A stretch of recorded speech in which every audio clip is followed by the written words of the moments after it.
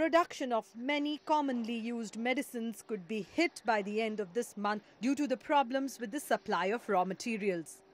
Since the outbreak of coronavirus in China, the supply of active pharmaceutical ingredients or APIs has been disrupted and the pharmaceutical industry is facing the heat. Yes, there is a shortage and not only the shortage has uh, created the problem, the further problem has been aggravated by the panic that has been created because the raw material suppliers are hoarding and the people who are buying medicines or getting the medicines manufactured from manufacturers like us, they are also piling up their stocks. About 70% of APIs in India are imported from China. The rest are manufactured in India, but 80% of the intermediaries needed to produce them are also brought from China.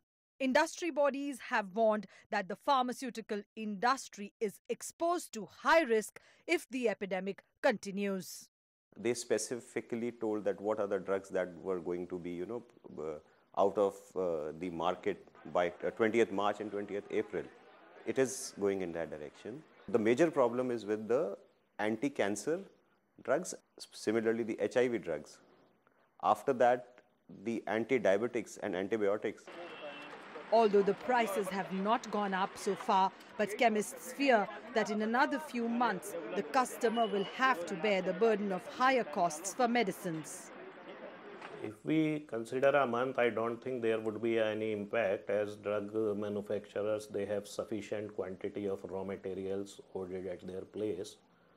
And uh, uh, drugs also, we have three to four months inventory in the market. So, but if it prolongs beyond say four months, five months, then the situation may uh, be bad. The government has stepped in and has formed a high level committee to find both short term and long term solutions. It has placed pharmaceutical industries under force majeure clauses, freeing pharmaceutical firms from their contractual obligations. This is conclusive evidence that the situation is critical. Ravinder Bawa, CGTN, Delhi.